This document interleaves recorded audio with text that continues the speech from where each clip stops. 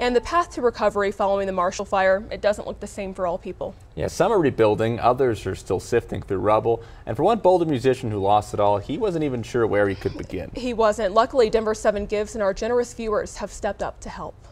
Music is always with me all throughout the day and really all throughout the night. Wyatt Russell has always created his own tempo in life and told Mother Nature forcefully picked up the pace. Been trying to approach it from a glass half full standpoint, thinking maybe everything's not gone. But everything was gone, including his entire home and belongings.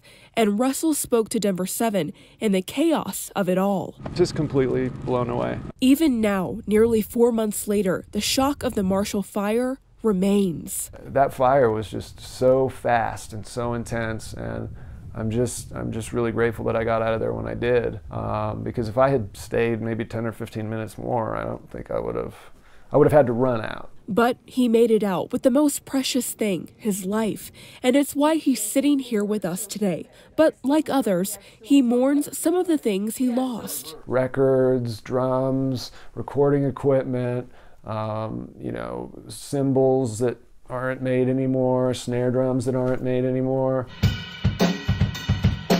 For the lifelong Coloradan and musician who used to do small gigs as extra income, the losses have been tough. But thanks to the generosity of Denver 7 viewers, a new drum kit and a new chance to bring in extra earnings arrived to Wyatt's home. The Mapex drum kit, just what he needed to play and record music. It's it's I'm I'm so grateful. And the kindness of complete strangers now reminds him of one thing. There's a ton. There's a ton of good people left. Um, giving people, caring people, compassionate people.